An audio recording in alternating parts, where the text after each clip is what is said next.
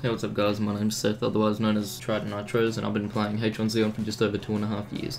I started playing H1Z1 first on Just Survive, and at the end of Preseason 2 on King of the Kill, that's when I switched games and started playing a lot more of uh, King of the Kill.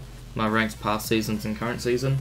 Preseason 3 I managed to get 13th place in Australia in Royalty 2. In current season, which is Preseason 4, I haven't played, so I haven't been able to get Royalty, but I'm looking forward to playing Preseason 5.